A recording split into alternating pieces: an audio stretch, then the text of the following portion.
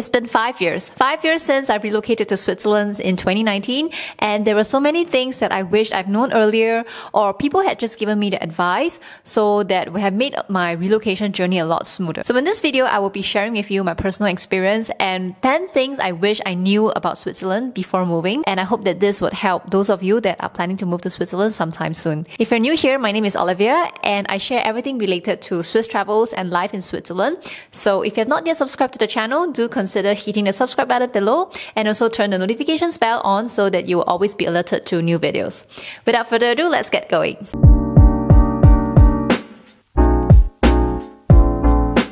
The first tip I have is related to your mindset, and that is not to settle. What I mean by that was related a lot to our apartment search. We were lucky to have a relocation agent back then who was responsible for helping us to scout for apartments um, in Switzerland because we were still physically in Singapore back then and it was not possible to to search for the apartments by ourselves. Ideally, we wanted to stay somewhere which is where we are currently at. This would be my most ideal place because of the location, proximity to the lake, and it's just a really charming neighborhood. But we ended up with an apartment in the suburbs of Lausanne. It was like our the first apartment that we got, and I remember the mindset I had back then was like, oh my gosh, like we better just take what we have already. You know that the competition here is so fierce, and uh, it's really difficult to find uh, an, uh, an apartment. And if you don't take it, you know, we don't know when when is to be our next apartment that we can get. I was running on this like scarcity mindset, like kiasu mindset again, like very Singaporean, uh, because I was worried that you know, what's going to happen to us if we arrive in Switzerland without an apartment? Where are we going to stay? What's going to happen to all our shipment that is already coming? It's not that we, I don't enjoy the place that I stayed previously in, in Lausanne, but I felt that on hindsight, it would have been better if I had a broader mindset into thinking that, you know, hey, it's not the end of the world if you arrive without an apartment because there were alternatives that I didn't consider, uh, such as maybe renting a temporary place for a while, like an Airbnb, while being physically present in Switzerland so that you can physically go and check the apartments for yourself.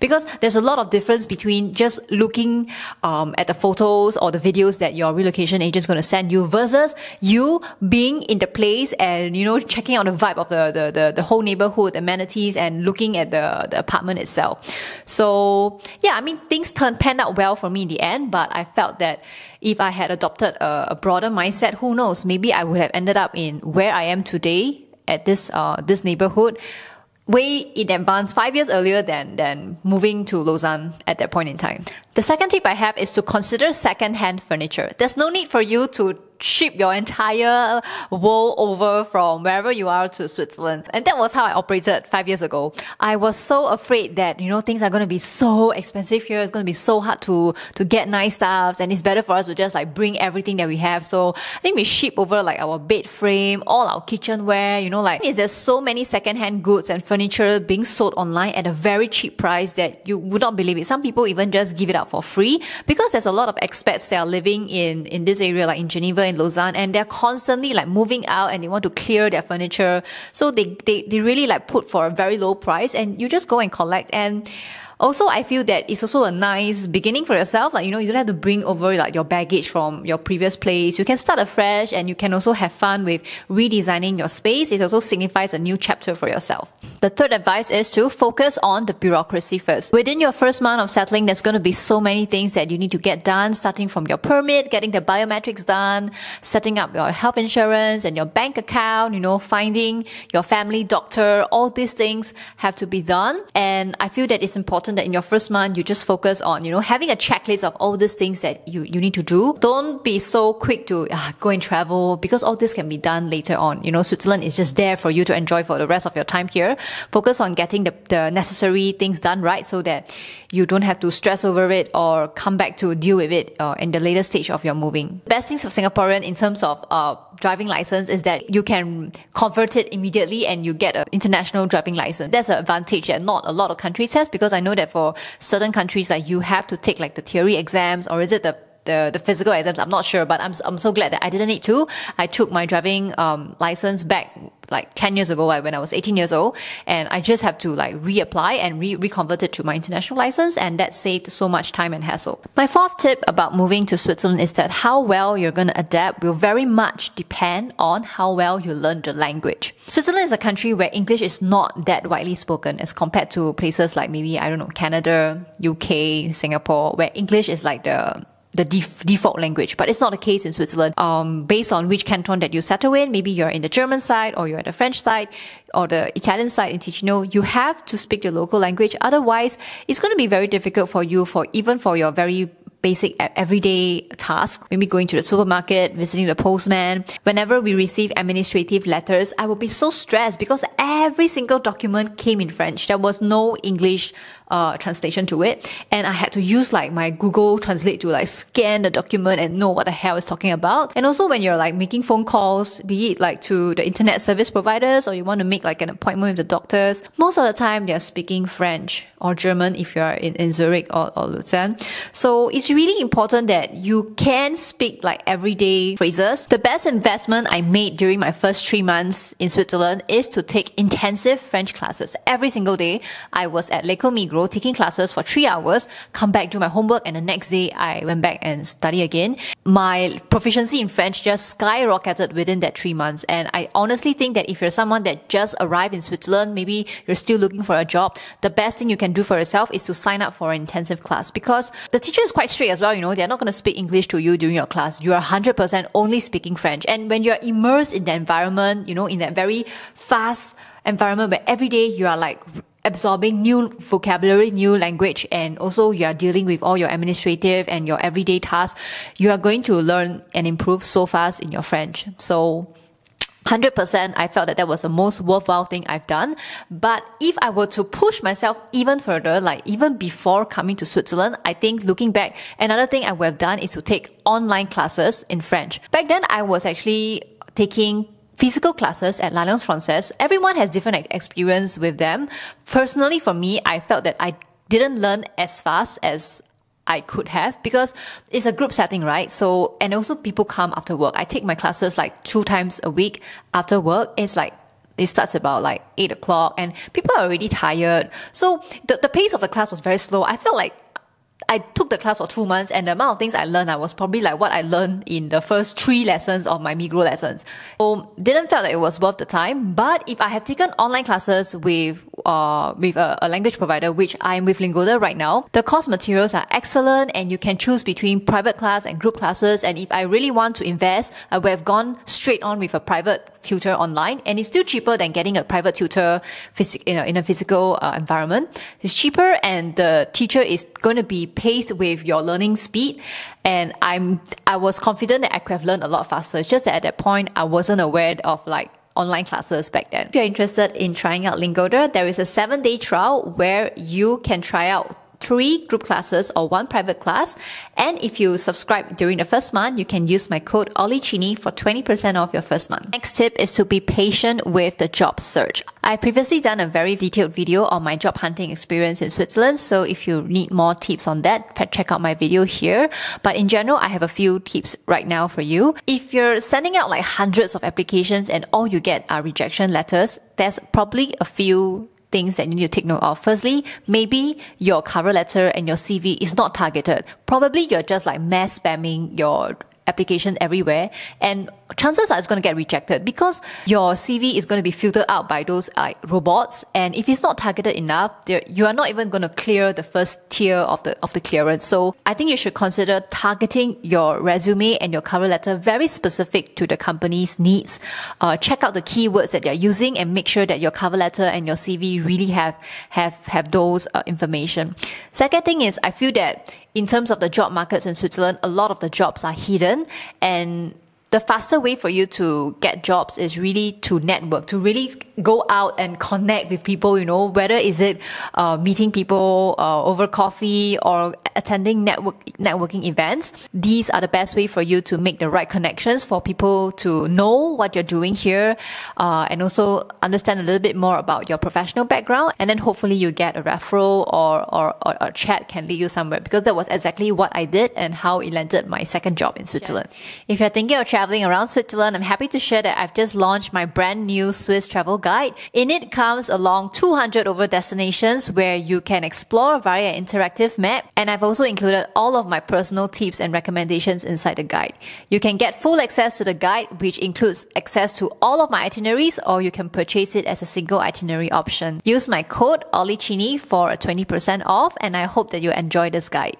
Next tip I have is to get all of your medical checks and your your dentist appointments done before coming. So as you already know, things are like three times more expensive here as compared to your home country. So it's really best to just do like a full body checkup, get everything done before coming. So you save the cost of um, doing it here in Switzerland. And also over the counter medicines, it's quite difficult to, to get them. Like you either need a prescription or sometimes you can get it here, yes, but it's also expensive. And what I usually do is is like whenever I'm back in Singapore, I'm just to get all of my cough medicine, my flu meds, uh, meds for stomach ache and everything so that you know, I don't have to like get an appointment with my doctor for all this kind of like everyday, uh, common colds. The next advice I would give is that your lifestyle in Switzerland would very much depend on the canton that you're in because each region really have a very distinct, unique way of life. For me, I'm living in the French side of Switzerland in Swiss Romand and I feel like the lifestyle here is you know, maybe the, the people living in Swiss German side, they will kind of say like, ah, the people here like very, um, very disorganized, especially when it comes to Geneva. And, uh, like the train is breaking down at a higher frequency as compared to the Swiss German side. I don't know why, especially the Lausanne to Geneva track. It's always like late or like there's train breakdown. I personally prefer the life here in Swiss Romand. I feel that it's more relaxed, um, and it's also by the lake and they just have a very laissez-faire way of doing things. Whereas when I spoke to friends that are living in the Swiss German side, I I guess the common feedback that I receive is that things are a little bit stricter there. Like there's a lot more rules there. I didn't live there in, uh, at all to kind of experience the difference, but I do have this sense that Swiss Germans are a little bit more uptight. I think another second disadvantage is that if you are living in, in the Swiss German part, even if you speak high German, sometimes it's still difficult for you to really converse with the local because they have their own dialect. They speak in Swiss German. So you also cannot really understand them. Whereas in Swiss Romand, like if you speak French, everybody speaks French here. So you can like understand and you can make a good conversation with them. Of course, salaries are higher at the Swiss, uh, Swiss German side and in the southern side in Ticino, um, of course, incomes are lower there, but you get a completely different vibe. There's more, it's more like Italian style. It's more Mediterranean. It's super charming in the summer. I really like Ticino. Uh, when it comes to like holidaying in Switzerland, please check out my Ticino guide here. Um, and yeah, so overall, I think depending on where you stay in Switzerland, you will have a completely different experience. And when you cross over to the to the other side, like to the other region, you'll feel like wow, it feels like two. Is this is this still Switzerland? It feels like two different places.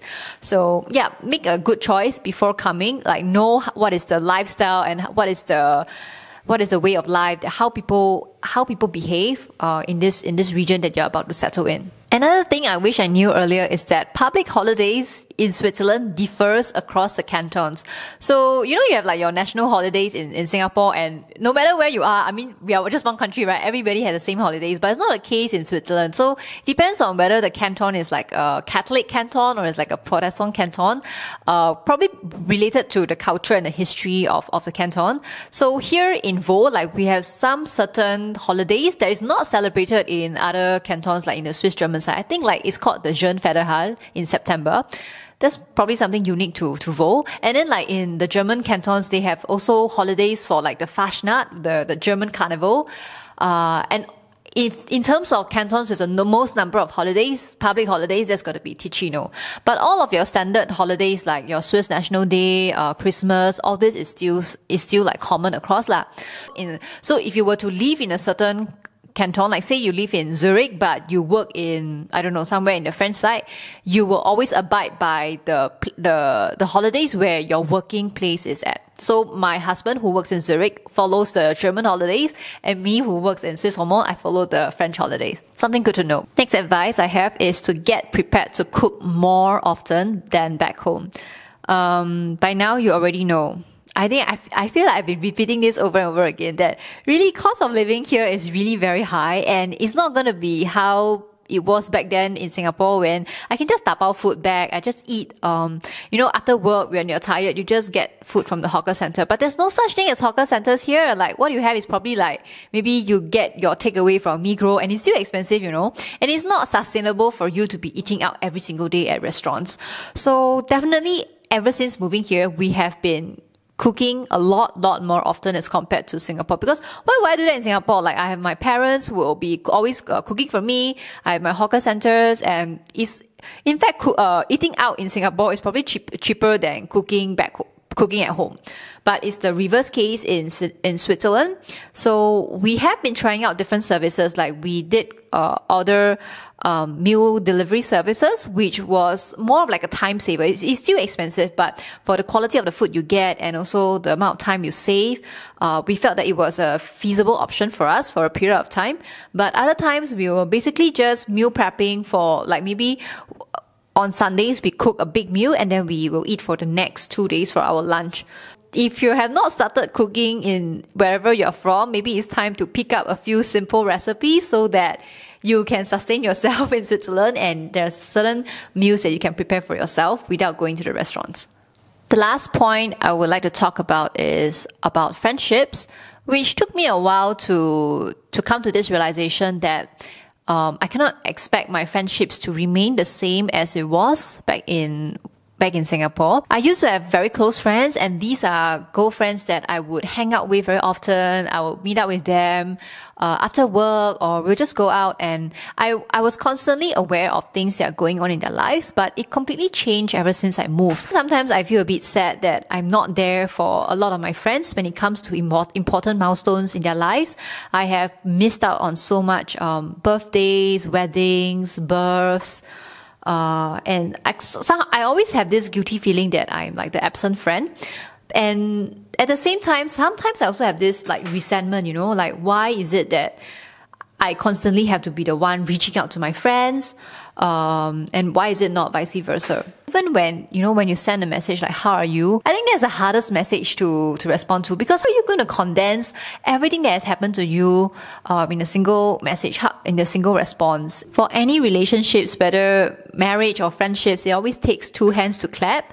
And I feel that especially to maintain a long distance friendship, it really involves two parties making the effort to check in on each other and, you know, just, um, be there and maybe share maybe just catch up over phone calls or messages. Of course, it's not going to be the same as meeting in person, but that's why whenever I return back to Singapore, I really try my best to be present for my friends and really spend quality time with them because I know that this is the only time I have in a single year with them. Of course, there are certain friends that I have said goodbye to or they're no longer in my life. And at times you may feel sad about it, but I feel that this is part and parcel of growing up, of moving abroad, that certain people may be in your life for a certain season in your life and they may leave and they're here to teach you a lesson. And at the same time, I have new friends that I've met here in Switzerland and I'm really grateful for them as well. So yeah, I think it's a give and take. Some people leave your life and some enter and they, they all make footprints in your path. And that's the end of my video. I think you should feel really proud of yourself for making this first step to relocate, to move somewhere outside your comfort zone. Everyone has their own different process and of course the road ahead is going to be pretty uncertain. It's going to be quite scary at times, but it's going to be a worthwhile and a very exciting journey. And who knows, maybe five years later, you'll be the one making these videos for other people coming to Switzerland. So with that, thanks for watching this video and I will see you in my next one. Bye!